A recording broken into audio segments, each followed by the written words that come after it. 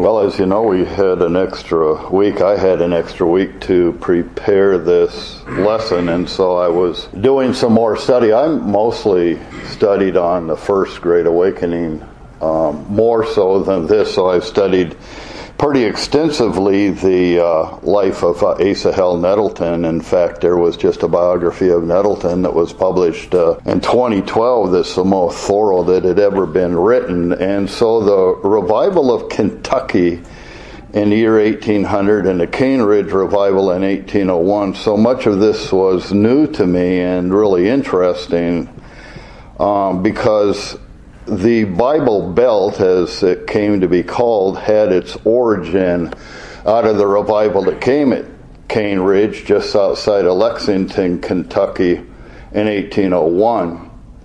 And the great revival of 1800 affected the whole country, but was most powerfully felt in the region extending from the Allegheny Mountains westward to the borders of civilization in the southern states.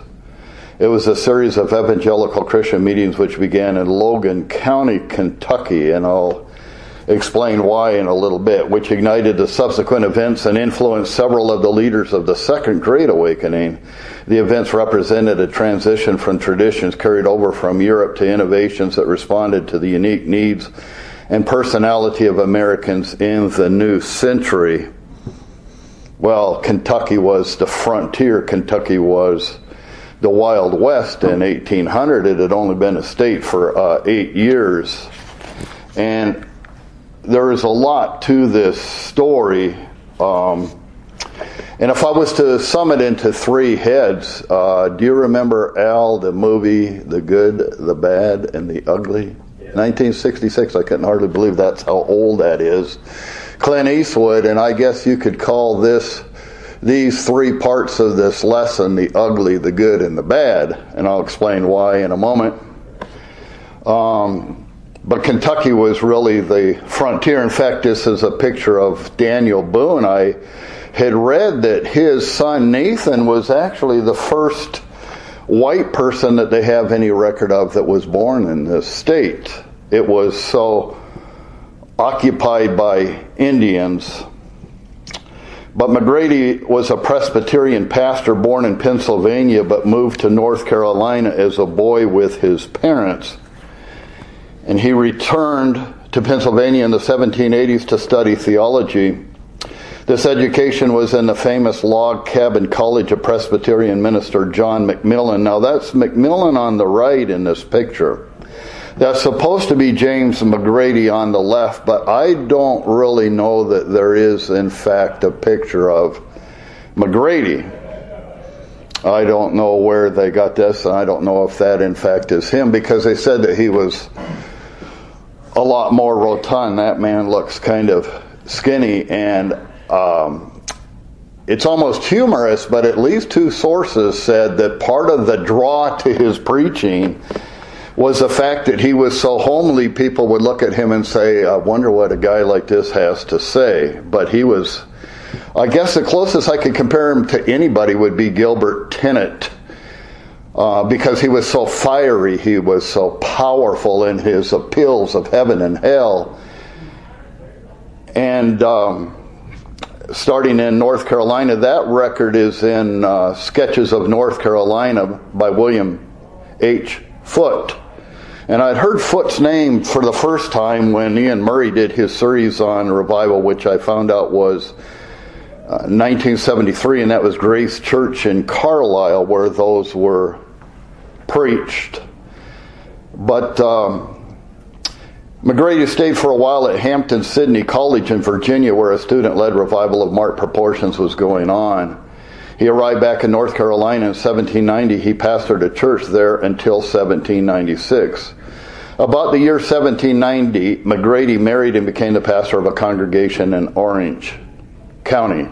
Here he labored with his wonted zeal and often with great success. His zeal provoked opposition um, the one thing that was said about Gil- Gilbert Tennent in the first Great Awakening is uh, his sermons were so powerful and so alarming that the great orator George Whitefield himself said of Gilbert Tennent that you must either be converted or enraged in hearing him. You couldn't remain indifferent. Well, this is the way that this man's preaching strikes me. His zeal provoked opposition, and he was accused of distracting people from their labors and creating unnecessarily unnecessary alarm among decent and orderly people.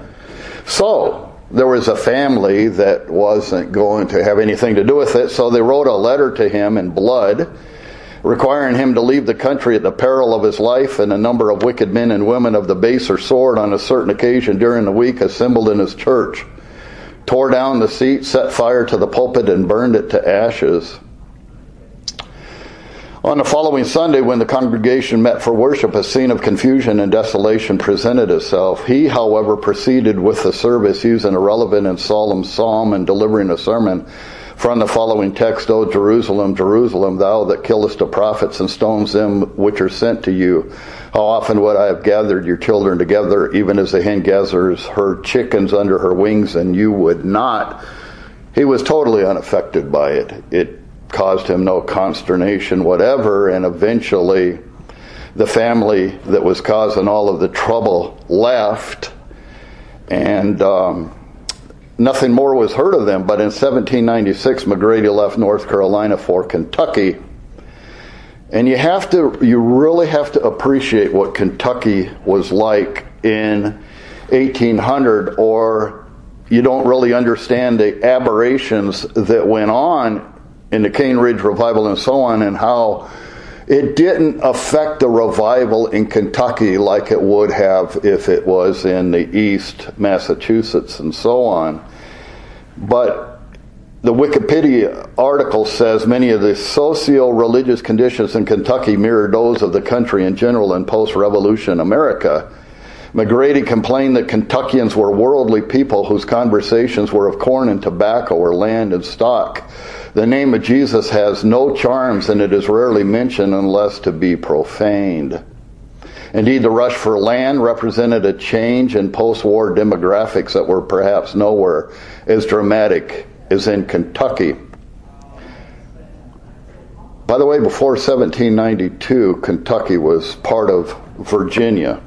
So Kentucky became a state in 1792.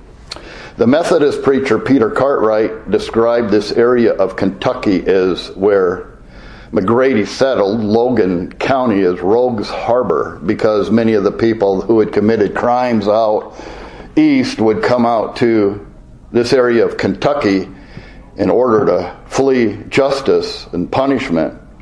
It was a desperate state of society. Murderers, horse thieves, highway robbers, and counterfeiters fled there until they combined and actually formed a majority. The area was primitive in the extreme, and the pioneers lived hard times, lives full of danger, loneliness, and privation. But McGready was a fearless preacher, and he informed his hearers that they had not left the eternal God behind them. He was as much there on the frontier as he was anywhere. Now, you have to understand uh, something about the Scotch Irish background of many of the people that settled in Kentucky, the Presbyterians, and this still goes on today. You don't hear a lot about it, but eh, they enjoy a season that could be as much as a week long called a communion season. And a communion season is so much different than our having the Lord's table on a Sunday morning or a Sunday evening. They spent a weekend preparing for it. You know, many sermons might go before, and it is interesting that the revivals that came to Logan County, Kentucky, and the next year to Bourbon County, Kentucky, all were during one of these during these communion seasons. But the very fact that uh, Barton W. Stone, who I'll talk about later, Barton Stone, first heard the preaching of McGready in North Carolina, and it didn't do a lot of good to him because it was so full of the wrath of God, punishment, the severity of the law and so on, and he was actually converted under hearing the preaching of uh, an associate of McGready named William Hodge, who was preaching on the love of God. But Barton Stone is an interesting character that we have to discuss later. But as you can see, just the very name of Bourbon County tells you a little bit about how rough the background was, and it was interesting that sometimes the pastors weren't actually paid money, they were paid good goods, farm goods, and so on. And some of them even were paid in whiskey, which is interesting because well, Barton Stone went up to Bourbon County to start a church there, the Cane Ridge Church. He had succeeded a pastor who was dismissed from the pulpit because he was a continual drunkard. And I thought, well, who saw that coming? So in the month of May 1797, McGready's talking about a revival that came to Logan County.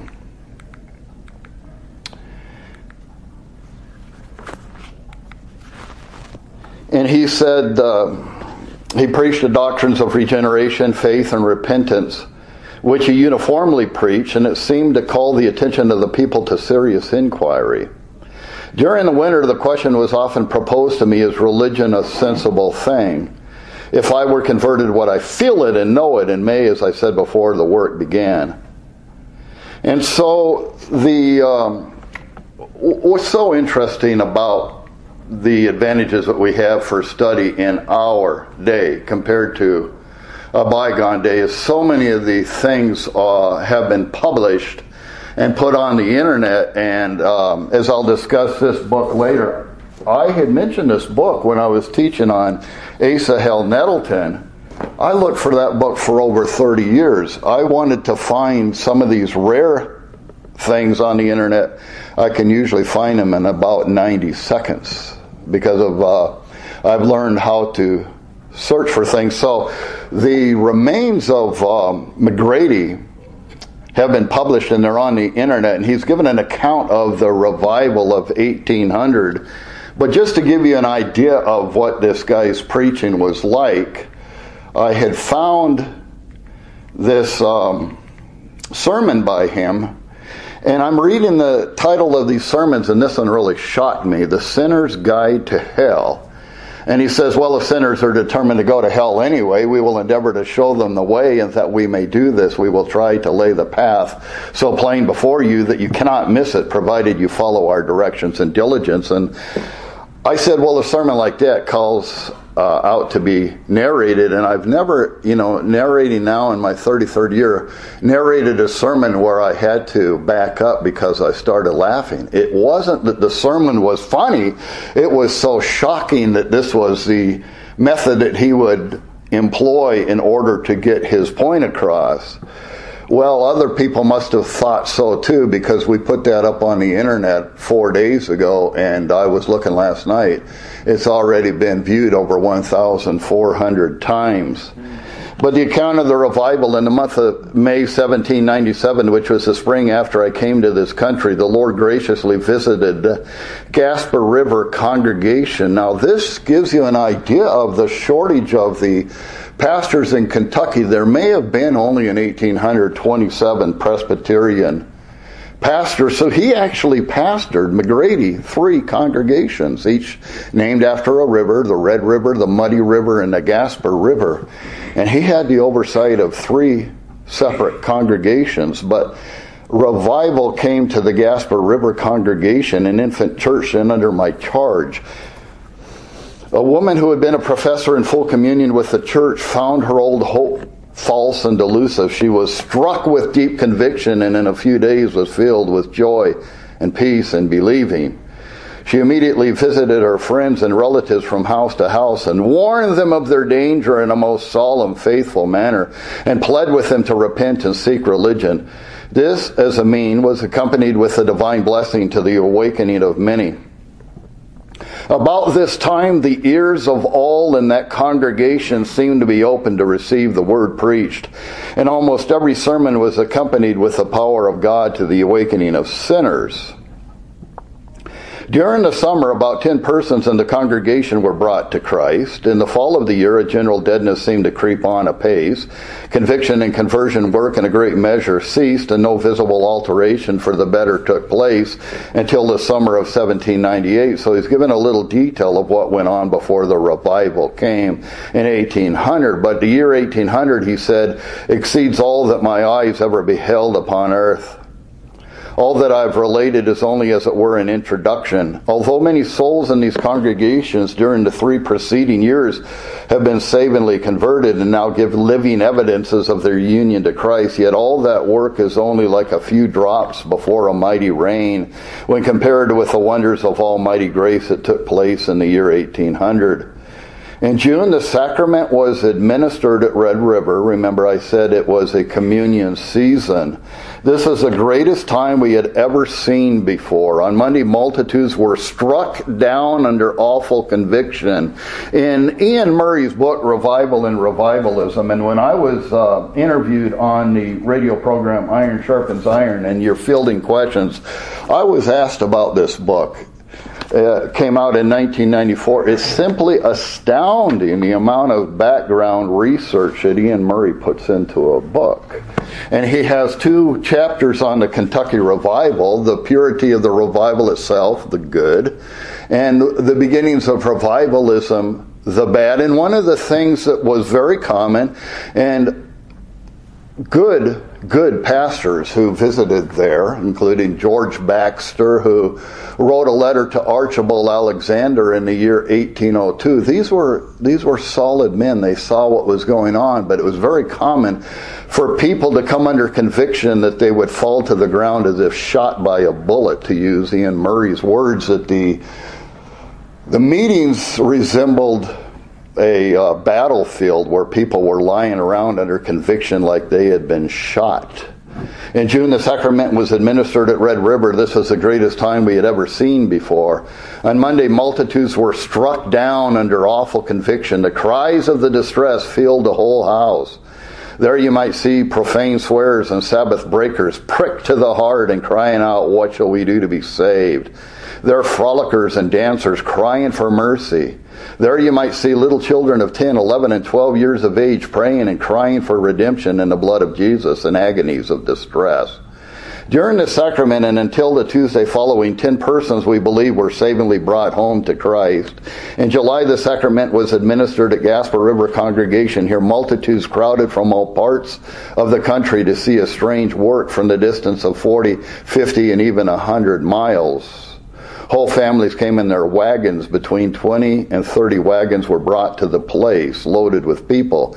Now, admittedly, a place like Kentucky, people aren't coming because they, in all cases, hear that a revival is going on and they want to partake of it. Sometimes it's just out of boredom and they want to see something different. It was to some of them entertainment in those days that brought them into a place like that. It was a hard life that they live. Uh, I had read one account where men may work as much as 16 hours a day, and sometimes women were working in the coal mines as well, which really stopped after this revival. A lot of purity came as a result of this.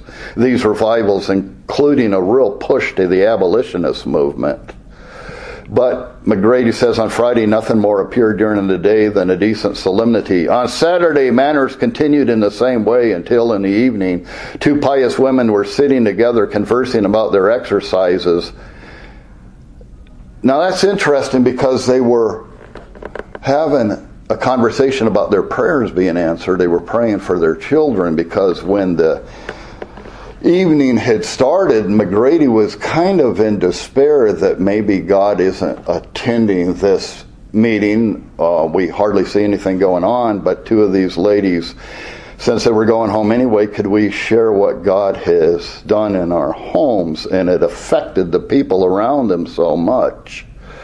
So presently you might have seen sinners lying powerless in every part of the house, praying and crying for mercy. The Holy Spirit came upon this small congregation, ministers and private Christians were kept busy during the night conversing with the distressed. This night, a goodly number of awakened souls were delivered by sweet, believing views of the glory fitness and sufficiency of Christ to save to the uttermost. Amongst these were some little children, a striking proof of the religion of Jesus. Of many instances to which I have been an eyewitness, I shall only mention one, namely a little girl. I stood by her while she lay across her mother's lap almost in despair. I was conversing with her when the first gleam of light broke in upon her mind. She started to her feet, and in ecstasy of joy she cried out, Oh, he is willing, he is willing, he has come, he has come. Quoting another source, William Speer, The Great Revival of 1800, this work was recommended to me because I'm good friends with a guy who uh, is, runs Log College Press. He's also uh, greatly learned in the Puritans, and he's a part of a committee to get the Westminster unpublished documents republished. But he said that I should read William Speer's account, and he said, writing later about the Cane Ridge revival, some of the scenes witnessed in Kentucky are almost beyond our conception. An eyewitness of a vast meeting at Cane Ridge, and remember, this is the revival that's going north, on north near Lexington. Logan County is actually down near Bowling Green, Kentucky, closer, about 60 miles in our day from uh, Nashville. So in 1801, people had come from all quarters of the state, even the distance of 200 miles, and from the settlements north of the Ohio, and they described that we arrived upon the ground, and here a scene presented itself to my mind, not only novel and unaccountable, but awful beyond description. A vast crowd, supposed by some to have amounted to 25,000, was collected together. The noise was like the roar of Niagara. The vast sea of human beings seemed to be agitated by a storm. I counted seven preachers all preaching at one time. And even then, you know, 25,000 people and seven preachers, they still couldn't reach all of the crowd. And so you had things like the uh, camp meetings that were the result of that because people were coming in their wagons. It was too far for them to go home, and so they just set up camp. So, camp meetings, when they began in the early 19th century, started out well. They were really well intentioned. They were abused later on, but they were a work of necessity as well. And on the right in that picture, you see a tree stump that sometimes they had to fell a tree, and the preacher, in order to be able to see over the crowd at all, would get up on the stump and preach. So that's where we got the name stump preachers. From the biography of J.B. Finley, the shouting, shrieking, praying, and nervous spasms of this vast multitude produced an unearthly and almost terrible spectacle. The religious exercises on the ground were continued from Friday morning until the ensuing Wednesday evening, day and night without intermission. Heavy rains fell during that time, apparently without being noticed by the people, though few were protected by any covering. And I mentioned a letter from George Baxter to Archibald Alexander, and this letter is interesting to me for a number of reasons because in 1802, though Alexander um, had some notoriety in his day, after all, he was the first professor of Princeton Theological Seminary. When he got this letter, he was only 31, but already had a reputation. And things have changed so much on the internet in the last 10 years that when I taught in Holland on the Great Awakening, so much of the stuff that I was looking for, I had never put my eyes on them, though I knew that they were in existence. But I, and even in this book in 1994, uh, Iain Murray is ha- having to quote secondhand sources including this letter from George Baxter, uh, Archibald Alexander, but in our day, I could trace it back to the first time it was ever published in the Connecticut Evangelical Magazine of 1802, which was actually the second annual of that magazine, which I mentioned last week. But Baxter said, because he was a, a very, very serious Christian pastor and knew about the bad reputation of Kentucky and the people in the area prior to this revival. And he's writing to Alexander and he says, On my way to Kentucky, I was informed by settlers on the road that the character of Kentucky travelers was entirely changed. And that they were now as remarkable for sobriety as they had formerly been for dissoluteness and immorality. And indeed, I found Kentucky to appearance the most moral place I'd ever seen. A profane expression was hardly ever heard. A religious awe seemed to pervade the country with respect to the largeness of their assemblies. It is generally supposed that at many places there were not less than eight, ten, or twelve thousand people. At one place called Cane Ridge Meeting House, many are of the opinion that there were not less than twenty thousand. There were 140 wagons which came loaded with people besides other wheel carriages, and some persons attended who had come the distance of 200 miles. The largeness of these congregations was a considerable inconvenience. They were too numerous to be addressed by any one speaker. I had mentioned Barton W. Stone when he came up to Bourbon County to uh, be the pastor of the Cane Ridge Church. Uh, even then, he had to pastor two churches as McGready pastored three. So you have 20,000 or more people coming together in a revival. It says different ministers were obliged to officiate at the same time at different stands. What's remarkable is the conversions of children. The, the part that children took in this revival was a new feature as well as a very remarkable one. A lad named David McCord, some eight or ten years old, professed conversion in the vicinity of Nashville. On meeting a playmate near his own age, he said to him, of course, we don't talk this way anymore. It was interesting to see this language. Hitherto, you and I have been companions, but unless you alter your course, we must be separated hereafter. For I am determined to serve the Lord. The boy was so powerfully affected that he ran home and threw himself on a bed in great distress. He expressed a desire to see David McCord's what affected him, and he was soon brought to his side. The parents of these boys were much amazed to hear them talk in rapturous language of the pardon of sin and salvation through Christ, while each wept profusely. The neighbors were notified to collect for a prayer meeting. The people coming together expressed a desire to hear the boys talk. Each in turn related with tears of joy what God had done and in truly evangelical language expressed his dependence on the righteousness of Christ for salvation. The people were affected deeply, and many in the settlement were converted. At a sacramental meeting held near Flemingsburg, Kentucky in April of 1800, two little girls cried out in great distress during the preaching. They both continued for some time praying and crying for mercy till one of them received a comfortable hope and then turned to the other and cried out, Oh, you little sinner, come to Christ. Take hold of his promise. Trust in him. He is able to save to the uttermost.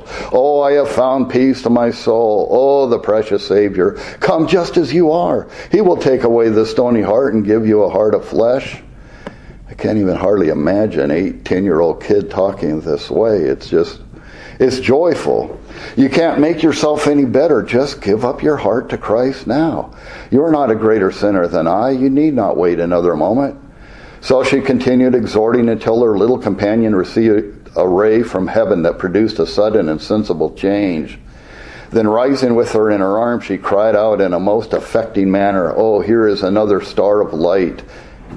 These children were perhaps nine or ten years old, end quote. Last week I had mentioned the book Lectures on Revival by William Sprague. 1832, and I said in the uh, appendix of that book, Sprague had asked a number of living Presbyterian pastors to furnish letters of revivals that had come to their church. The second letter in there is by Samuel Miller, who taught at Princeton, but Miller was given the um, express duty to talk about things that accompany a revival that are not really good. And so Samuel Miller is talking about camp meetings. and how they started, he said, It is my impression that camp meetings began in the Presbyterian Church, that they were first adopted from a kind of necessity. In a country where houses for public worship were few and of a small size, and of course altogether insufficient for receiving the great crowds which collected on particular occasions, and who were in a state of mind which prompted them to remain a number of days at the place of meeting. Those who attended such meetings came prepared to camp out, gathering at the prearranged times and places from distances as great as 30 to 40 miles away. That was a distance in those days. Families pitched their tents around a forest clearing where log benches and a rude preaching platform constituted an outward church that remained in almost constant session for three or four days. As many as 10,000 to 20,000 people were reported at some meetings. People came partly out of curiosity, partly out of a desire for social contact and festivity, but primarily out of their yearning for religious worship. In such circumstances, encamping in the open air seemed to be unavoidable.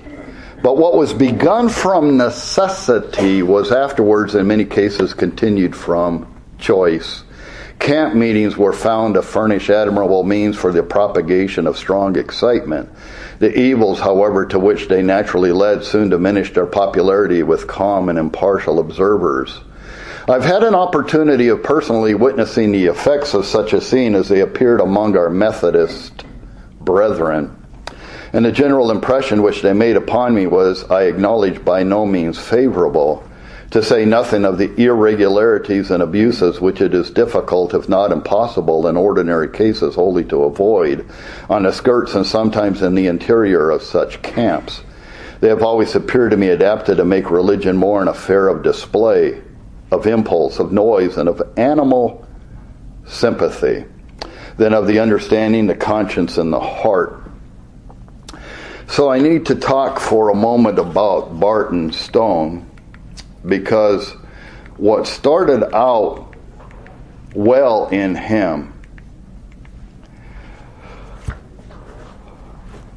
within a couple of years he started to deny the basic tenets of the Westminster Confession of Faith. He was an ordained Presbyterian so he was an ordained Presbyterian minister in 1798, though he was more Arminian than Calvinist in his views and stressed primitive Christianity thought and practice. But he was the pastor that God greatly used in the Cane Ridge revival of 1801. He was a preacher at Cane Ridge Church near Paris, Kentucky when it became the center of the Great Revival and an immense camp meeting. The trouble did not take long to develop. In McGready's territory, a new Cumberland Presbytery or subgroup was organized in 1801. Before long, it was in a battle with the Kentucky Synod, the next highest administrative body in the hierarchy.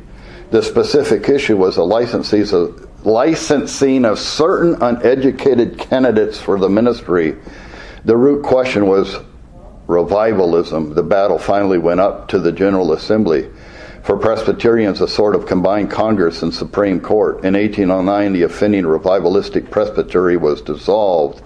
Promptly, most of its congregations banded themselves into separate Cumberland, a separate Cumberland Presbyterian church. Meanwhile, Barton Stone, Richard McNemar, I have uh, McNemar's account of the Kentucky revival, and he joined a group that was called the Shakers. So there were many things that came out of this revival that I think could have been avoided if these men would have subjected themselves to the proper oversight. And I kept thinking as I'm studying this history that all of the aberrations that came to the revival, after the revival, were warned about in the book Thoughts on the Present of Revival of Religion by Jonathan Edwards, such as lay preaching and exhorting and so on, and uh, emotionalism. And he has a section in there that may be unequal in the English language called Undiscerned Spiritual Pride. Asahel Nettleton was really a student of Edwards at that point, and he avoided many of these aberrations. But as we'll see, Barton Stone, not so much. So he formed a splinter group known as the New Lights, and the Kentucky Synod, as might have been foreseen, lost little time in putting the New Lights out via heresy proceedings. So they formed an independent Springfield Presbytery. So this is the beginning of what became known as the Restorationist movement. And the thing they claim they were trying to restore the church to was a primitive church where you just had the Bible alone and they had no use for creeds and confessions. But in 1804, that presbytery fell apart. Stone and some of his friends joined with others in a new body, shorn of titles and formality, which carried the magnificently simple name of the Christian Church. Later on, Stone went over to the followers of Thomas and Alexander Campbell. And if you know the name Alexander Campbell, he was also a Presbyterian pastor who formed a group that became known as the Disciples of Christ, and they had very little use for confessions and creeds as well. And out of curiosity, I listened to some of the lectures that I found online of what is called the Restorationist movement, which really is put on by the Church of Christ. And I'm listening to this guy give this lecture, and he's saying, Well, uh, why do we need confessions? If your confession teaches less than the Bible teaches, it's dangerous. And if it teaches more than the Bible teaches, it's dangerous. And if it teaches just what the Bible teaches, it's not needed. And I thought, well, why don't you apply that to yourself as an expositional preacher? If your preaching is less than the Bible teaches, it isn't needed. And if it's more than the Bible teaches, it isn't needed. And if it's just what the Bible teaches, why do you engage in any kind of expository preaching? Which, of course, I reject that out of hand. And uh, as I was studying this a little bit more, I remembered that Robert L. Dabney, the Presbyterian, the Southern Presbyterian theologian, in his discussions discussed Campbellism, and he goes into quite some depth about how inconsistent these men were. They didn't want creeds or confessions, but they had really written out extensive commentaries themselves, and I think many of the tenets which became heretical such as the idea of baptismal salvation. Baptismal salvation, I'm distinguishing that from baptismal regeneration because they take Mark 16 16 and they claim unless you are baptized as well as believe, you can't be saved. So he followed on uh, to the teachings of Thomas and Alexander Campbell, and they called themselves the disciples of Christ. Ten years after Cane Ridge, the score was depressing for Presbyterians. Revivalism had brought on innumerable arguments, split off while whole presbyteries and sent ministers and congregations flying into the arms of at least four other church groups that splintered, and it was a strong indictment that any conservative could have invented to bring against Cane Ridge or against its Western child, the camp meeting. What happens is those who are of revival, they look at these aberrations, they look at these results. And they did it with Jonathan Edwards and his successive followers and well, as well, and say some of these people started to go into Unitarian churches, and therefore the whole revival is suspect. And I think that that's really unfair because there were good men who were there during the revival who saw the things that were genuine and I had come across this article because there were something things that happened during the revival that I just physiologically could not understand called the bends, the jerks, rolling. Uh, we've heard the expression barking up a wrong tree. Well, the proper phrase was barking up the tree. And there's a revival specialist historian J. Edwin Orr, who died probably 1989 or a little after that, who claimed that some of these things were didn't in fact happen, is because 20, 30 years ago when he was doing the research, you couldn't find this material, but I was able to find it and study it. And there was a man, when I first studied this, I didn't know his name, named Dr. Thomas Cleland who wrote a book, I mean, an article, a letter to a friend, a pastor friend, that was not intended for publication, but actually he thought it could be helpful, and it wasn't published till 1834 in the Biblical Repertory, the Princeton Review, even though he was there during this revival. And his article was called Bodily Exercises Produced by Religious Excitement. The revival of religion under consideration commenced in the southern and western sections of Kentucky, or what is generally known by the Green River country. The principal instruments were McGready, William Hodge, Rankin, and McGee. Now, there were two McGees. One was Presbyterian, and the other was Methodist. And I mention that because it was the Methodist that was stirring up some of this emotion. He had been warned by a Presbyterian pastor Please, please don't go through this congregation and stir people up. Nothing good can ensue from that. And at first, he listened to the counsel, but then he's walking through this revival in the year 1800 and he starts shouting things out, and then people get stirred by animal sympathy and so on. And just last night, I found this book the Methodist error. And this gives you an idea how some of these things that you couldn't possibly find 30 or 40 years ago very easily have been reprinted. And this was by a Wesleyan Methodist warning the Methodist pastors, and there were a number of them during the revival of 1800. Because remember, you had Francis Asbury, if you know anything of that history, who was already in Kentucky in 1790 and was greatly used of the Lord. And you actually had a um, eccentric, is a way to describe him, pastor named Lorenzo Dow, who was a Methodist. And Lorenzo Dow, I don't have a lot of time to tell you a lot about him. The reason they called him eccentric, the guy was a pretty good preacher. And he observed some of the things that were going on, but they said that he never let a blade touch his beard or his hair, and always wore the same clothes until he could wear them no more. And then somebody that was listening to him would donate another pair of clothing, which sometimes didn't fit. But ironically, these men were used during this revival. So McClellan is talking about McGready and some of the things that went on. And he said, previous to this revival of religion, Kentucky and all this western region was in a state of great coldness and declension. The country was new and a heterogeneous mass from all quarters had pressed into it. Presbyterians, both clergy and people, were very formal. Sacramental services were very long and often irksome and apparently unedifying or rather uninteresting to the large mass of attendants.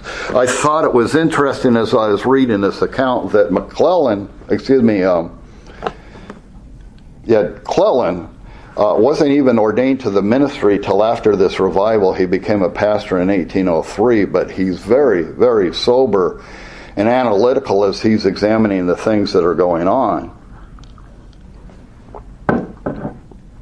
And inasmuch as no neighborhood had a population sufficient to support so many people as assembled on those occasions, this gave rise to the plan of camp meetings. A grove was selected, a pulpit of wood, or as we generally term it, a stand for the clergy was erected.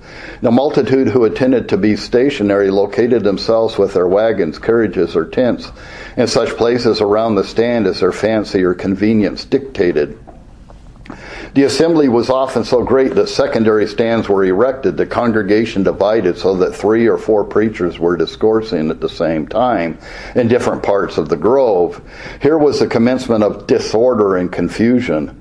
The sermon had scarcely commenced when someone or more would become the subject of bodily exercise. This is commonly called the falling exercise, or as it has often been said, such an one was struck down. I cannot better describe this exercise than Dr. McMillan has done in his letter to Pre- President Carnahan. It was no unusual thing to see a person so entirely deprived of bodily strength that they would fall from their seats or off their feet and be as unable to help themselves as a newborn child. I have seen some lie in this condition for hours. And there were many accounts of this. They would lie there you, didn't even detect any vital signs for a while who yet said that they could hear everything that was spoken and felt their minds more composed and more capable of attending to divine things than when their bodies were not thus affected. As far as I could observe, The bodily exercises never proceeded but always followed upon the mind's being deeply impressed with a sense of some divine truth. Now, here's a subject that was so intriguing to me the jerks. I proceed to relate a case or two respecting the exercise called the jerks. This succeeded, I believe, had its origin in East Tennessee, at least it was, to use a common phrase, commercial phrase, first imported into Kentucky from that quarter. It affected the good and the bad, the aged and the young. It was entirely involuntary, dreaded and hated, and even cursed by some, while it was desired and courted and highly prized by others. It came on something like the hiccup without any premonitory, premonitory symptoms and left the subject equally without any sensible effect. During its prevalence, I made several experiments. Being a young minister and inexperienced, I knew not what to do with it. While preaching, I have, after a smooth and gentle course of expression, suddenly changed my voice and language, expressing something awful and alarming, and instantly some dozen or twenty persons or more would simultaneously be jerked forward where they were sitting with a suppressed noise once or twice, someone like somewhat like the barking of a dog, and so it would either continue or abate according to the tenor or strain of my discourse. An actual case stated to me by William McGready, a young man, son of an elder, to avoid attending a camp meeting in a neighborhood with a family, feigned himself sick. On the morning of the Sabbath, he continued in bed until the family had all started for the meeting. He being left alone except a few small blacks. I think they mean slaves. Slavery was very common in Kentucky in those days. When thus alone, he congratulated himself on his success by the deception he had practiced on his parents.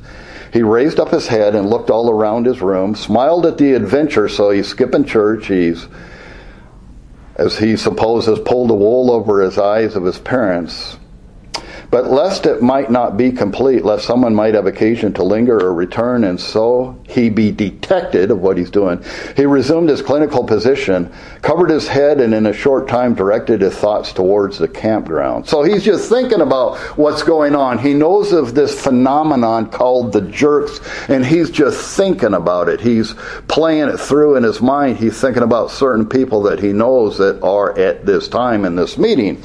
He fancied the multitude assembling, the services commenced, the bodily exercises, as he had seen them now in operation. He fancied a certain female now in full exercise. Now she's at it, now she's at it.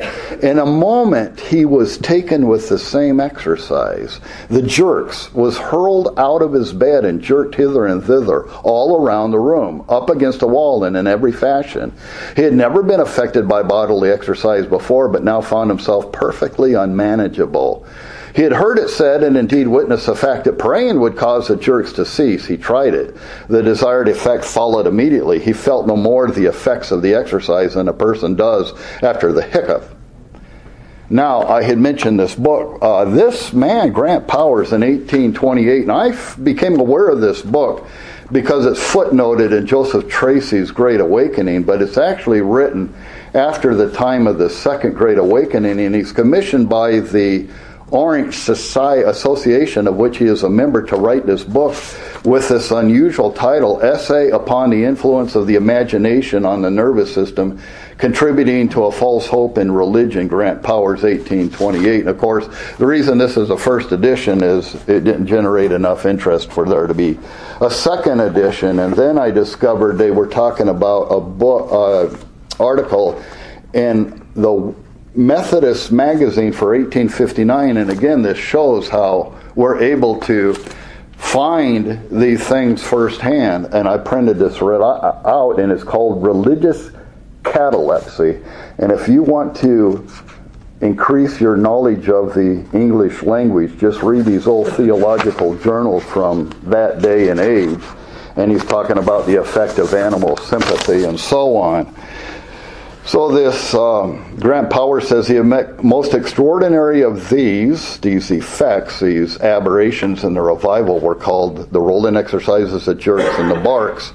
The rolling exercises consisted in being cast down in a violent manner, doubled with the head and feet together and rolled over and over like a will or stretched in a prostrate manner, turned swiftly over and over like a dog. And I cannot for the life of me figure out what this is or what's going on. And I don't think these people were really that successful either. In fact, the only thing I've ever read in all of my studying that was anything like this is some of the things that Cotton Mather wrote about when he wrote the about the um, preternatural occurrences in New England prior to the Salem witch trials. So they were sometimes driven in this manner through the mud and were sullied from head to foot. Nothing in nature could better represent the jerks than for one to goad another alternately on every side with a piece of red hot iron. Someone standing on one side of you, they hit you with a red hot iron in the side, and you turn, and then someone gets you on the other side. The exercise commonly began in the head, which would fly backward and forward and from side to side with a quick jolt, which a person would naturally labor to suppress, but in vain. He must necessarily go as he was stimulated, whether with a violent dash on the ground and bounce from place to place like a football, or hop around with head, limbs, and trunk twitching and jolting in every direction as if they must inevitably fly asunder. Sometimes the head would be twitched right and left to a half round. So if you watched a head, it would turn so quick you almost couldn't follow it. But the face appeared as much behind as before. Even handkerchiefs were bound tight around the head and would be flirted off almost with the first twitch, and the hair put into the utmost confusion. This is a great inconvenience. Lorenzo Dowse said, I have seen, he says, all denominations of religion exercise with the jerks, gentlemen and lady, black and white, young and old, without exception. I passed a meeting house where I observed the undergrowth had been cut away for a camp meeting so these people are holding on to these tree saplings so that they would not be affected with this phenomenon. And he observed that where they held on, they kicked up the earth as a horse stamping flies. But I think Dr. Cleland's reflections, and there were seven of them, it what he saw during this revival is really helpful as I bring this to a close. He says, The first reflection, which is suggested by the preceding account, is that the physiology of the human system is very imperfectly understood. The second thing that is that an irregular action of the nervous system produces religious excitement, very astonishing Religious excitement carried to an extreme is always a dangerous thing. Enthusiasm in the counterfeit is a counterfeit of true religion. And in revivals of religion, badly regulated, there may be much extravagance, and yet the work in the main be genuine. So, though entreated by his revival colleagues to join the Cumberland Presbyterian ministry, McGready, after the revival, chose to stay among the Presbyterians. So he stayed firm to the end in his convictions. He accepted a censor from the Transylvania Presbytery because of some of the things that they allowed to go on. And he submitted and remained as a faithful preacher to the end along with other revival preachers, for his association with con- controversial revival practices and doctrines. He was restored as a credentiated Presbyterian minister in 1806. He left Logan County in 1807 and moved to Henderson, Kentucky, to a minister to a congregation he had pioneered during the 1800 revivals, and he died there in 1817. Barton Stone, on the other hand, died as late as 1844. And I think it's interesting how Iain Murray breaks down this history by that which was good, and there was good, and that which was the beginning of revivalism, which wasn't checked. And that's the whole purpose of this book to show how historically revivalism crept into the churches. And I think the camp meeting thing went on to be abused. And in our day, you have crusades and so many things that are so foreign to the original intention that some of these men had when they first established camp meetings in the early 1800s. And with that, um, I'll close. Does anybody have anything to add to this? I know it's an awful lot of uh, information, and I've held back so much. I did have a question about Jonathan Edwards' wife. she wrote a book about her weakness and fainting spells and her being overcome by the Spirit. Right, but if you uh, read that account, um, I don't think there were. It was really that uh, out of the ordinary, uh, I did uh, read a, a, section of that when I was talking in Pilgrim's Progress. In the case of John Flavel as well, remember he had gotten on a horse. Um, he was at an inn. He had paid his uh, fee for the night. He got on a horse. He's going out at a considerable distance and had such a taste of heaven upon earth that uh, he didn't know where he was. The uh, he didn't know at the time that uh, he was bleeding from his nose and it was covering the horse and that. And even though he didn't know where he was, the horse somehow got him back to the inn. And the innkeeper came out to him and said to him, You look terrible. And John Flavel said, I've never been better in my life. So uh, you can't rule out that God can so draw near to us that we have such fellowship with him and so on. But um, this seemed to be quite in another category physiologically than what Sarah Edwards went through. Um, and I've just, I, I haven't been able to come up with a good explanation of it. I don't know if it's demonic. I don't know if, you know, but better men than me that were there who study these things, I'm saying that they couldn't account for it either. But I can't be uh, faithful to this history without at least mentioning this. Anybody else before I close? Al? Just uh, a note on something you said there that people would gather in the pouring rain to hear the gospel. If you ever preached out in the pouring rain, you can't hear. Yeah. You know, and, and I can't imagine. Uh, people gathering, you say 20,000. The, the preacher must have had one set of lungs to be able to, you, you know, just yelling at somebody out in the pouring rain you can't hear for 50 yards. And what what became abused by that is that you had lay preachers. These were just people who they would wait until they had an opportunity, the sermon would end or something, and they, and they would go through this huge crowd and they would start exhorting people and so on. But uh, Edwards warns that this really can cause problems. People that aren't well grounded, have no oversight, and so on.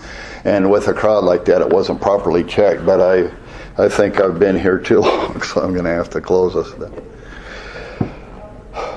Father, we uh, can't explain everything that went on here, but we do know that you did come upon a multitude of people in the early days of this country and we know that there were conversions, and we know that your Holy Spirit came in their midst, and that's really what we're longing for. That we don't forget that these things have happened, and your manifest presence has been felt in the assemblies and the congregations, and we long for it again. We don't see any other hope for our nation's survival than a genuine revival, and we this is what we ask for. This is what we plead for in Jesus' name. Amen.